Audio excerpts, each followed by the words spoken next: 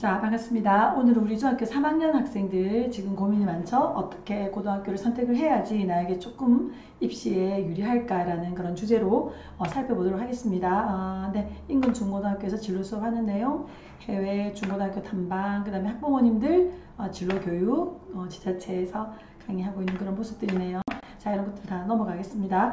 자, 여러분들 어, 많이 보셨죠? 지금 현재 여기 프리미엄관에서 수업하고 있는 친구들도 있는데 본관에서만 친, 공부하고 있는 친구들도 있어요. 자, 코로나를 예견한 건 아닌데 우리 아이들이 다행히 사회적 거리 두기를 해서 음, 어, 옆 건물 두 개 층을 확보를 해서 지금 나눠서 공부하고 있잖아요.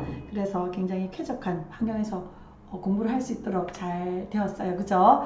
자, 지금 여기에서 수업을 하는 친구들도 있고, 아직까지 신간에 못 간 친구들도 있죠. 선생님들의 이동거리라던가 수업 시간 이런 것들 때문에 이렇게 밤 배정한 거니까 지금 본관에서만 수업한 친구들은 어, 다음 시간표 짤 때는 또 우리 신간에서 수업을 할 수 있도록 어, 도와드리겠습니다. 여기 예, 5층 정독실에서 고등부 형님 누나들 지금 어, 자습 공간이에요. 어, 공부 잘 되겠죠? 여러분들도 조만간 활용할 수 있도록 하겠습니다.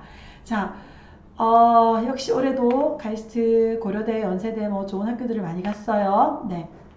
이번 온라인 수업이 끝나고 난 뒤에 학교에서 굉장히 시험이 좀 쉬워졌죠. 그래서 뭐 다른 친구들도 다 잘했겠지만 역시 우리 BK 친구들은 중학생들은 전과목 올백도 나오고요. 그 다음에 고등부 내신 학교 수학 하고 모의고사가 어, 고등 수학의 100점이 되는 거의 수신의 영역이거든요. 쉬웠다고 해도 그래도 이제 워낙 열심히 한 덕분에 네, 좋은 결과들이 나오고 있네요. 여러분들도 그 주인공이시죠? 네. 자, 고등학교를 선택하는데 최고의 정보와 전략을 어떻게 짜야 되느냐. 자, 정보와 전략도 중요해요. 하지만 입시는 계속해서 변하고 특히 여러분들 2024년 입시잖아요. 그럼 2021, 22, 23, 24가 해마다 입시 전략이 바뀌어요. 그리고 현재 23년까지는 어느 정도 나와 있는데 여러분들 24년 입시는 어, 확정은 어, 되어 있는 게 하나도 없거든요. 그래서 염두에 두고 전략을 짜셔야 돼요.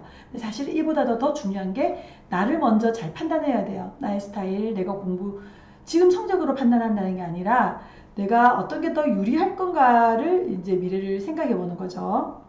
성적은 또 올릴 수 있으니까요. 그죠? 자, 첫 번째 내신을 잡겠다. 그래서 교과서 전형으로 가겠다. 어, 수능에서 전과목 국어, 영어, 수학, 사회 과목 또는 과학 과목을 선택하잖아요. 다섯 개.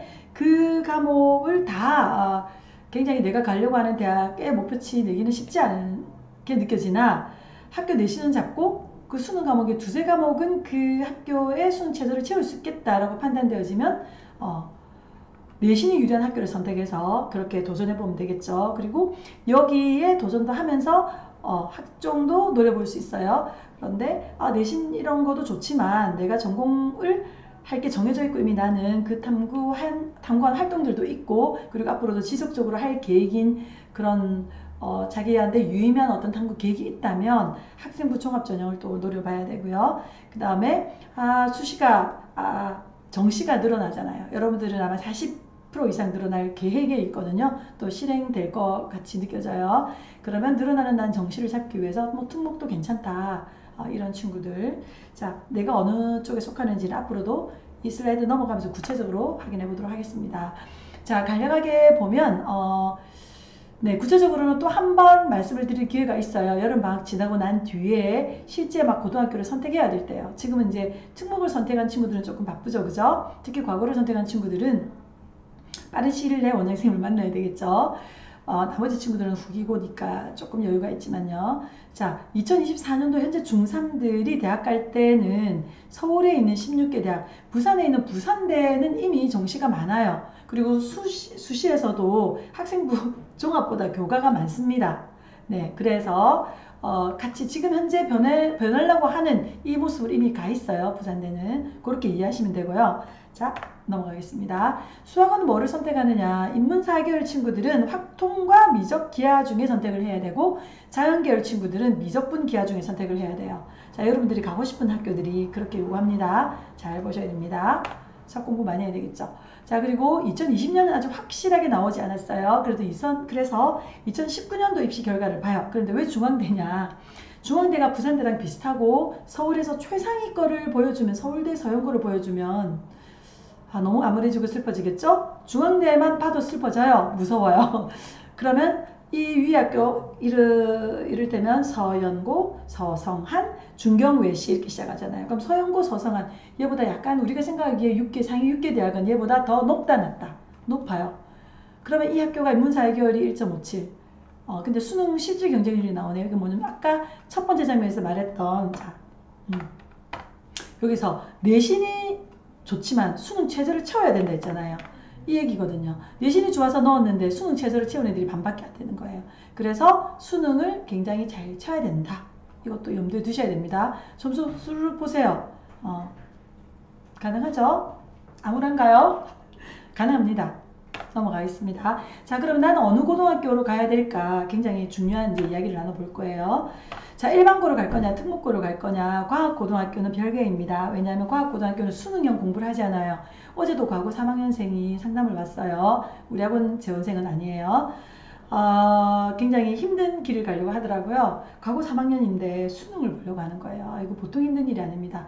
가능은 하죠. 가능은 한데 과거는 수능형 공부를 1도 안 하거든요. 프로젝트별 수업을 하기 때문에 어떻게든 수시로 어, 가교원을 뚫어야지 쉬워요. 서울대나 가교원. 그런데 아, 수능을 친다. 어, 정말 힘듭니다. 그래서 처음 선택을 굉장히 잘해야 돼요. 자, 특목고로 가려고 한다.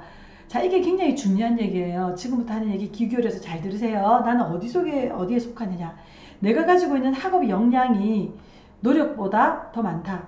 어, 이게 쉽게 말하면 무슨 말이냐면은 나, 내가 지금 점수를 평균을 96, 7, 8 정도 내고 있는데 전과목 평균을 말하는 거예요. 물론 전과목이 대학 가는데 유의미한, 유의미한 건 아니에요. 밑에 기가 다 포함한 게. 에, 입시에서는 나중에 다섯 과목만 필요하니까요. 하지만 전과목 점수를 내가 지금 말하고 있는 이유는 중학교 전과목 97, 8, 9점은 맞아야지 특목을 지원해 보는 게 어떨까라고 생각을 해요. 그 성실도를 보여주는 거잖아요. 그 다음에 단기 집중력, 애살, 과제 집착력, 그 다음에 정교성 이런 것들이 모여서 내는 점수잖아요. 전과목 평균이라는 그런 의미로 말하는 거예요. 그냥 막 외워서 점수 내는 거 말하는 거 아니에요. 깊이 있는 공부는 국어, 영어, 수학, 탐구 열심히 해야 되겠죠. 그 어떤 전과목 그런 내는 점수가 97, 8, 9 정도가 되는데 그게 내 노력의 한 20%를 안 한 거야. 지금 내가 20% 정도 배터리가 남아 있는 거야. 학습 전략도 크게 안 세우고 그냥 약간 설렁하는데도 그 정도 점수를 내. 이런 친구들은 도전합니다. 왜냐면 나에게는 아직 20% 정도의 그 엔진이 남아 있잖아요. 그쵸? 그거를 쓰면 돼요. 애사를 덜 발휘하고 있어요. 그죠? 그냥 엄마한테는 아, 나 하면 되는데 실수야 이런 친구들 말고 실제 자기가 그게 막 토할 만큼 막 긴장이 돼서 떨릴 만큼 그렇게 안 한 친구 그냥 설렁설렁 약간 설렁설렁 했는데도 내가 지금 학교에서 상위 2, 3% 안에 들어간다 이런 친구들은 도전 안 해볼 이유가 없겠죠. 가라! 라고 합니다. 자 그리고 전과목 이건 특목고 지나가고 난 뒤에 전과목 상위 15% 내에 들겠다. 굉장히 유의미하죠. 무슨 학교든지 갈 수 있어요. 입학 설명회 딱 하면 아, 자, 우리 학교에 와서 정 과목 3등급 안에 들면 원하는 대학 다 갈 수 있습니다. 이렇게 얘기하시거든요. 근데 거기 와 있는 전 학생이 그래도 중학교에서 어, 나 어느 정도 했던 친구들이잖아요. 그래서 어, 내가 이 학교 와서 전 뭐 3등급은 하겠지. 문제는 100%가 다 이렇게 생각한다는 거예요. 거기 70%는 어떻게 해요?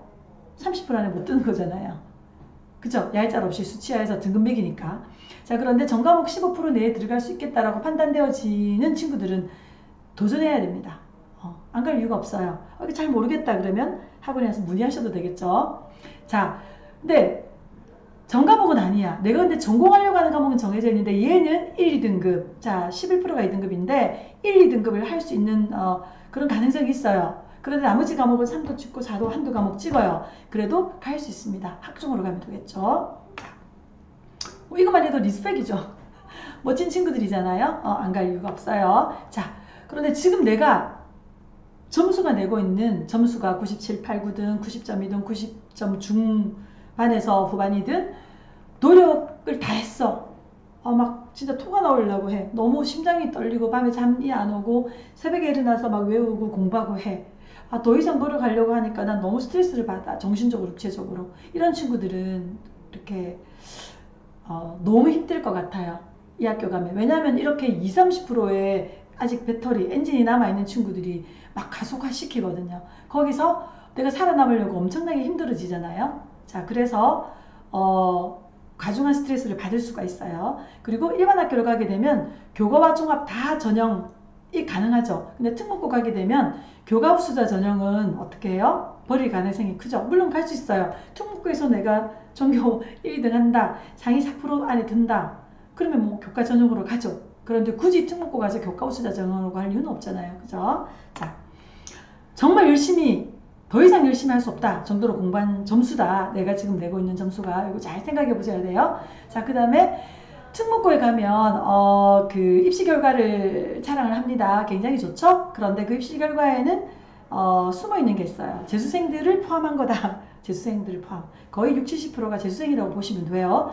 자, 그렇다면은 재수를 해요. 많은 친구들이 왜 재수를 하느냐? 못해서 재수를 하는 게 아니라 내가 받은 점수로 올해 내가 널 학교가 마음에 안 드는 거예요. 마음에 안 들어요. 내가 이 학교를 가려고 내가 이렇게 고생해서 기숙사 와서 많은 돈을 내고 스트레스를 받아가면서 이 학교를 가려고 했나? 그래서 그냥 안 가버리는 거예요. 합격하고 또는 넣지도 않고. 그래서 재수를 어, 자기처럼 무시무시한 특목고 출신의 재수생이 되어서 도전해서 결국 인서울 또는 자기가 가고 싶은 목표를 달성하는 친구들이 많죠. 그래서 재수를 가고 앉아. 또는 어, 이 학교 갔어. 아, 나는 4.5등급이야, 4등급이야. 물론 그렇잖아요. 다 30분 안에 갈 수 있는 거 아니잖아요. 그러면 나머지 60, 70% 학생들이 슬퍼하고 이럴 게 아니라 어 원래 그런 거 아니에요. 특먹고 왔는데 뭐 그럴 수 있다. 이렇게 진짜 어 근데 선생님은 제일 좋아요. 이런 친구들 얼마나 멋져요. 그쵸? 음 인생 뭐라 공부 뭐라고 그쵸? 어, 네 이렇게 생각하는 친구도 있어요. 얼마나 이뻐요. 그죠? 이런 친구들은 도전해라. 안 갈 이유가 없다. 같이 시너지를 내고 정시도 늘어났으니까 정시도 도전한다. 이런 마인드로 가는 거예요.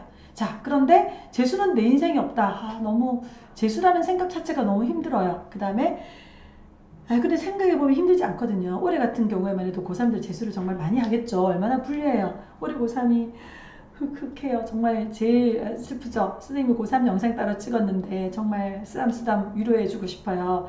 고생을 많이 할 거예요. 재수생들은 얄짤 없이 막 온라인 강의하고 재수 학원들이 안 쉬었거든요. 자, 재수생한테 불리한 전형은 거의 없어요. 수능은 스킬이거든요. 자, 근데 재수는 내 인생이 없다. 근데 서울 아이들은 거의 재수를 해요. 반 이상이. 생각을 해봐요. 서울에 살면서도 in서울 하기가 힘들어요. 그쵸? 그래서 막 경기 지역으로 빠지고 하거든요. 어, 서울에 있는 아이들 뭐 재수가 아니라 N수라고 하는데 우리는 아, 재수 너무 힘들고 나는 성향상 재수가 아닌 것 같아. 이런 친구들은 일반 학교 가는 게 좋겠죠. 그 다음에 어, 내가 어, 심리적으로는 과도한 경쟁을 싫어한다.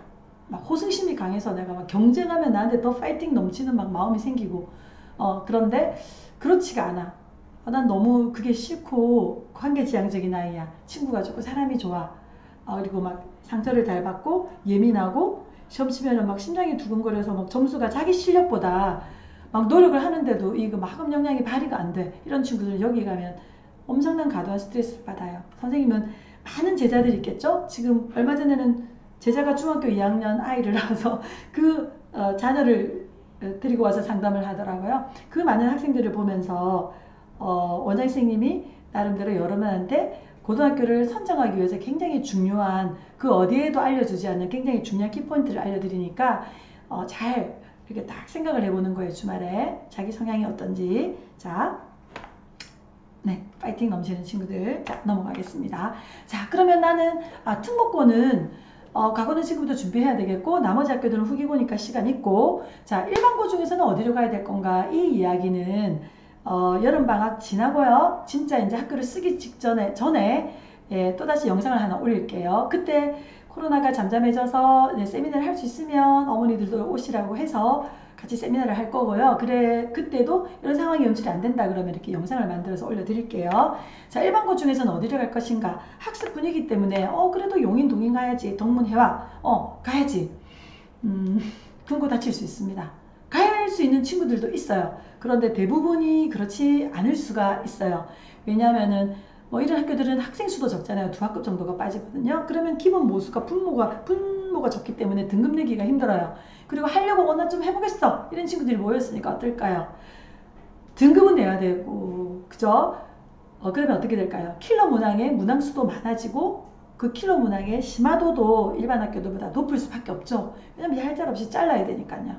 이번 같은 경우에 물 중간이었죠. 쉬웠어요. 근데 여기 중에서 동네 고등학교도 쉽지 않아요. 이번에 동네 고등학교 수투가 되게 어려웠거든요. 온라인 수업을 했다는 거 얄짤 없이 어 빡세게 공부해야지 이 정도 어렵게 내야지 이제 이런 학교들이에요. 이 학교들은 뭐 온라인 뭐 이런 거고 상관없이 네 잘 생각해 보시고 네, 이런 것들은 나중에 어, 2학기에 들어가서 실제 학교를 막 선택할 때 예, 다시 아주 구체적으로 한 번 더 어, 영상을 찍든지 아니면 세미나를 해든지 알려드리겠습니다. 그 다음에 학교 선배들이 지금 입학 설명회를 올지 모르겠어요. 시국이 이래서. 그런데 입학 설명회를 듣고 아 그 선배들 너무 멋진 것 같다. 그 다음에 막 언니와 오빠 애들 입고 다니는 심지어 교복이 예뻐서 그 학교 가고 싶다. 뭐 절대 안 됩니다.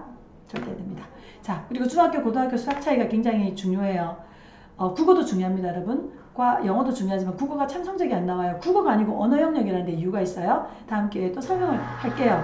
자, 수학이 같은 기간에 공부해야 될 게 되게 많아지죠. 그리고 중학교 때 가장 어려웠던 문제가 고등학교 올라가면 가장 쉬운 문제로 되어버려요. 왜냐하면 등급을 내야 되니까. 자 그렇다면 학교별로 이제 보겠습니다. 간략하게 넘어가겠어요. 이거 이야기 한 번 더 해드릴게요. 국가고 당연히 뭐 최상이죠. 뭐 국가고에 고등학교 국가고 아니라 일가고 아니라 그냥 특목고에만 가도요. 교과서 수학책은 자 이거 뭐 나면 냄비 받침대로 써라 이렇게 해요. 학교에서 주는 아주 심화된 보충 프린트 그리고 선행을 해야지만이 알아들어서는 수업 진도 어, 이렇게 수업이 진행될 거예요. 용인고 당연히 어렵습니다. 블랙 라벨 정도까지는 떼고 가야죠. 모의고사 키치도 공부해야 됩니다. 서술형 문제 특히 어렵습니다. 동네 고등학교도 쉽지 않아요. 아까 말씀드렸다시피 이사벨 고등학교 중간 정도입니다.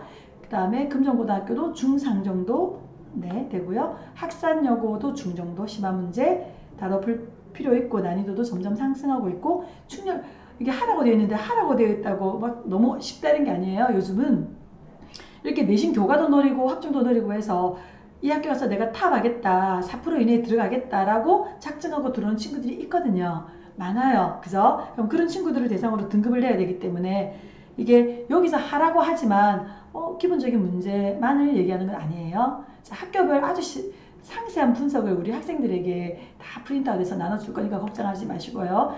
심지어 각 학교별로 수학 시험을 쳐보게 할 거예요. 그 학교별 기출 시험 있잖아요. 모의고사, 전국 모의고사 말고요. 학교별 기출 시험을 나눠줘서 2학기에 그거를 아니면 방학 때 해도 괜찮고요. 그래서 어 이런 시험을 한번 쳐보고 오 이 학교가 말로만 들었는데 이 정도야?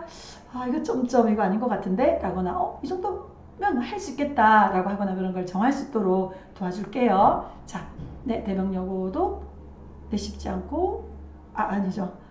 네, 쉽지 않습니다. 해화여고는 여고 중에서 조금 쉽지 않은 편이죠. 자, 중앙여고, 동문여자고등학교 여고 중에 난이도가 높아요. 왜냐하면 뭐 1등급 블랙레벨 다 마찬가지 학교 보충 프린트 어려운 문제도 마찬가지고요. 잘 다뤄봐야 되고요. 자, 샌덤 고등학교 여기는 주로 우리 이제 학교 친구들이 많이 모여 있는 이제 학교들을 말씀드렸고요. 자, 고등학교를 선택하는 데 있어서 음, 어떤 고등학교를 선택해야지 유리할까라고 생각하니까 힘든 거예요. 이제 반대로 생각을 해봐요. 어, 밑에서 생각을 해서 올라가려고 하니까 막 힘들어요. 이걸 생각하려고 하니까 이게 문제가 되는 것 같고, 이걸 생각하려고 하니까 이걸 생각 문제가 되는 것 같고, 그다음에 막 입시도 어떻게 변해야 되는지 모르겠고 그렇잖아요. 자, 어, 그런데 이거를 거꾸로 생각해 보는 거예요. 탑다운식으로 내려오는 거예요. 내가 하고 싶은 일이 뭐지? 라고 생각을 해봐요. 지금 뭐 4차 산업혁명 시대 펑이 유명하다고 하잖아요. 빵이라고 하기도 하고요. 펑이라고 하죠. 어, 내가 그쪽으로 유명한 거와 관련된 직업군에 있는가? 그렇지 않다 하더라도 내 직업을 어, 그것과 유사 연결시켜서 뭔가 할 수 있는 방법이 있는가 생각해 보고 다행히 맞다면 좋고 아니라 할지라도 내가 정말 좋아하는 일이 뭔가를 생각해 봐야 되는데 이게 없다라고 하면 점점 더 어려워지겠죠. 자, 그래서 그런 것들을 생각을 해보는 거예요. 그러면 내가 하고 싶은 일을 이걸 하기 위해서는 무슨 학교, 무슨 학과를 가야 되지? 라고 이제 생각을 해야 되겠죠. 내가 세상에 나가서 이런 일을 하려고 그래. 그러면 뭐를 배워야 되지? 라고 생각을 해보는 거예요. 그러면 학과가 나오겠죠. 그러면 그 학과가 우리나라에서는 어디에서 제일 잘 가르치지? 우리나라에서 없으면 외국 나가면 되죠. 코로나 잠잠해지겠죠. 여러분들이 대학 갈진이면 외국에 나가도 되고. 우리나라에서는 어떤 교수님이 가장 잘 가르치고 계시지? 이런 걸 확인해 보면 대학이 나오잖아요. 그쵸? 자, 그러면 그 대학 홈페이지를 들어가 보는 거예요. 오늘 주말이잖아요. 들어가 봐요. 누구의 힘을 빌리지 말고 본인이 들어가 봐요. 그러면 그 홈페이지에 들어가면 그 학교에서 배우는 교과 과정이 다 나와요. 1학년 때 뭘 배우고 2학년, 3학년 때 뭘 배우는지가 나오거든요. 그럼 야 그걸 보고 와 이런 거 배우는구나. 야 나 이거 진짜 더 공부해보고 싶었는데 막 흥미진진한 학교와 학과들이 있거든요. 그리고 그 학과의 선배들의 진로, 졸업 후 진로, 그 다음에 현재 막 발표하고 있는 논문, 교수님들이 지금 연구하고 있는 그런 방향성 이런 것들을 다 볼 수가 있거든요. 야 이거 너무 흥미진진하다. 그러면 어, 선택하면 되고 그게 아니라 하더라도 어, 이쪽으로 뭔가 해보고 싶다, 알아보고 싶다, 또는 유망한 것 같다 라고 생각되어진 학교를 자기가 고르면 되죠. 골라서 살펴보는 거예요. 그리고 그 학교들의 입시 결과가 다 나와 있어요. 아까 선생님이 보여준 거. 그게 선생님이 막 맞는 게 아니고 홈페이지 보면 나와 있거든요. 그 입시 결과를 확인해 보는 거예요. 자, 그리고 그 입시 결과를 확인해 보고 와 교과 우수자자는 이 정도 성적이 돼야 되는구나 학종은 아, 이 정도 성적이 돼야 되는구나 면접을 이렇게 보는구나 면접 받을 비율이 굉장히 높네 어, 그럼 나는 성적은 조금 부진하지만 여기 이 학교 해볼 만한 것 같아 이렇게 결정되어지겠죠 그 다음에 입시 결과를 보고 이제 나에게 유리한 학교를 선택해야 되는데 입시 결과 그 요강 보기가 쉽지 않아요. 그죠? 그리고 여러분들 때는 또 좀 변할 예정이고요. 쉽지 않으면 그거를 들고 와서 어 선생님 저 이거 이거 봤는데 이게 뭔지 잘 모르겠어요 라고 물어보시면 원장 선생님이랑 빨리 한 5분 만에 해결이 되겠죠. 그런데 그렇지 않고 그 복잡한 것들을 펼쳐서 다 설명하는 걸 들으면 서너 시간이 걸리고 며칠이 걸릴 수도 있거든요. 그렇기 때문에 자 거꾸로 가는 거예요. 어떻게? 자 다시 한번 돌아가 볼까요? 내가 하고 싶은 일이 뭔가? 자, 그 일을 하려면 어떤 학과를 공부해야 될까? 그럼 그 학과를 공부를 어떤 대학이 가장 어, 잘 시키고 있는가? 그 학교의 입학 전형이 어떤가? 입학 결과가 어떤가? 그리고 내가 이 학교를 가기 위해서는 그럼 어떤 학교를 선택해야 될까? 자, 알겠죠? 여기에서 기술적인 것들, 데이터 분석인 힘들면 이제 그런 거는 원장 선생님이랑 우리 선생님들 도와주면 되잖아요. 그죠? 자, 이렇게 해서 오늘 영상을 만들어 봤는데 네, 말이 좀 빨랐죠? 영상 좀 압축하려고요. 그래도 기네요. 자, 여러분들 주말 동안 내가 들어가고 싶은 학과를, 학교를 주위의 선생님이나 엄마들의 어, 부모님들의 힘을 빌리지 말고 자기가 시간 내서 검색해 보세요. 그러면 굉장히 그 학교를 가고 싶어질 거예요. 그럼 그 학교 프린트 탁 해서 책상에 붙여두는 거예요. 그죠? 붙여두고 어, 지금은 막 코로나 때문에 가보고 이러지는 음, 가볼 수도 있겠죠, 그죠? 항상 붙여두고 아 나는 이 학교 가고 말 테야. 그리고 공부할 때 조금 어, 다운되거나 슬럼프 오거나 할 때 자기를 더 cheer up할 수 있잖아요, 그죠? 그렇게 해서 좋은 어, 입시 결과 그리고 어, 여러분들의 미래도 어, 선생님이 늘 말하죠. 어떻게 해요? 브레인 코리아가 되어서 어디를 무대로 활동하라고요? 네, 들리네요? 전 세계를 무대로 활동할 수 있는 멋진 브레인 코리아 여러분들이 될 수 있도록 어, 학원에서 어, 다방면으로 최선을 다해서 돕겠습니다. 파이팅 합시다 여러분.